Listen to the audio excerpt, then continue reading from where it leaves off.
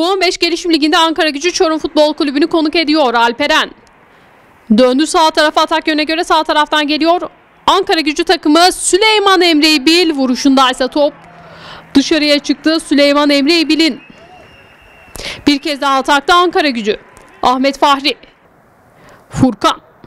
Furkan'a baskı var. O baskıyla birlikte şu anda Ankara gücü tekrar ama topu kazandı Alperen'le. Alperen'in arasında Taha Furkan paslaşmasının ardından yeniden Furkan pasındaysa Taha Bostaş Ankara gücünü 1-0 öne geçirdi. Dakika 15. Çorum Futbol Kulübü karşısında işte bu golle Furkan'ın asisti Taha'nın golüyle 1-0 öne geçti. Sarı lacivertli ekip. Mücadelede köşe vuruşu kullandı Çorum Futbol Kulübü. Kullanılan köşe vuruşunda bir şut ama top farklı şekilde dışarıya çıktı. Ankara gücü Alperen'le serbest vuruş kullanıyor ve Alperen'in vuruşunda kaleci Hasan Basri Önder pozisyonu kurtaran isim oldu. Süleyman Emre'yi bir yaptı ortaya ardından kaleci elinden kaçırdı dönen top savunmada ise Metehan Bolat topu uzaklaştırdı. Orhan döndü sağ tarafa Süleyman Emre'yi bile Süleyman Emre'yi bil Sağ çaprazdan vuruşu top üstten dışarıya çıktı. Farkı ikiye çıkarma fırsatıydı Ankara gücü için.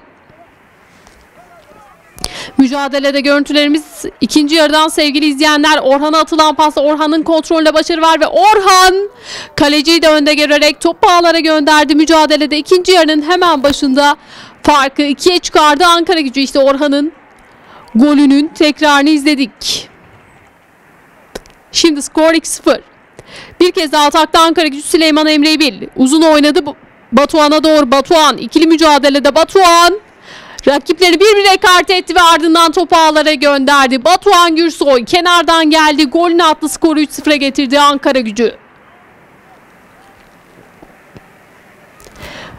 Kaleci Hasan Basri İstediği gibi başlatamadı mücadeleyi. Çorum Futbol Kulübü baskıyla birlikte Ankara gücü topu kazandı. Süleyman Emre Bil pasında sağ çaprazdan vuruşunda 18 numaralı formasıyla Yunus Emre Karada golünü attı dakika 58'de ve 4-0'a geldi skor. 1-1 Ankara gücü gollerini izliyoruz sevgili izleyenler mücadelede atılan uzun toptaysa şimdi Batuhan yanındaysa Yunus Emre Karabağ var ve Batuhan çok rahat şekilde topu ağlara gönderdi. Skor 5-0.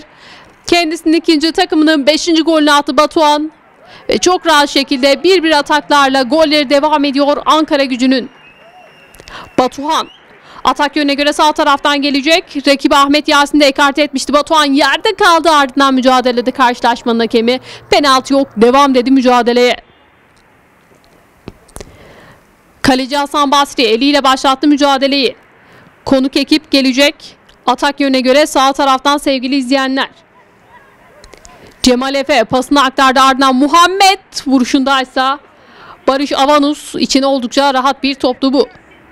Eliyle başlatırken Barış ve ardından bir kez daha konuk ekip atağa çıkıyor. Hatalı pas savunmadan. Bu da Ankara gücüne bir atak şansı daha oldu Süleyman Emre İbil. Bıraktı 20 numaralı formasıyla Ali Cem Öztürk. Ali Cem sıyrıldı rakibinden. Ali Cem vuruşuna stop yandan dışarıya çıktı. Dağlar Geçti rakibini Dağlar. Rakip ceza sahası içine doğru hareketleniyor. Dağlar'la birlikte Ankara gücü. Dağlar girmeden ara pasında Batuhan'ı topla buluşturdu. Batuhan pasındaysa Batuhan'ın Ali Cem. Vuruşundaysa at top bağlara gitti Ali Cem'in. Skor 6-0. Batuhan iki golün ardından bir de asistle mücadeleyi taşlandırdı diyebiliriz Ankara gücü adına. Serbest vuruş kullanıyor sevgili izleyenler. Konuk ekip Çorum Futbol Kulübü 10 numaralı formasıyla Süleyman Anıl vuruşu ise etkisizdi. Köşe vuruşunu kullanıyor Ankara gücü paslaşarak. Geldi bu köşe vuruşu Batuhan. Sıyrıldı Ömer'den Batuhan. Yerden pasındaysa savunmanın müdahalesi var. Dönen top.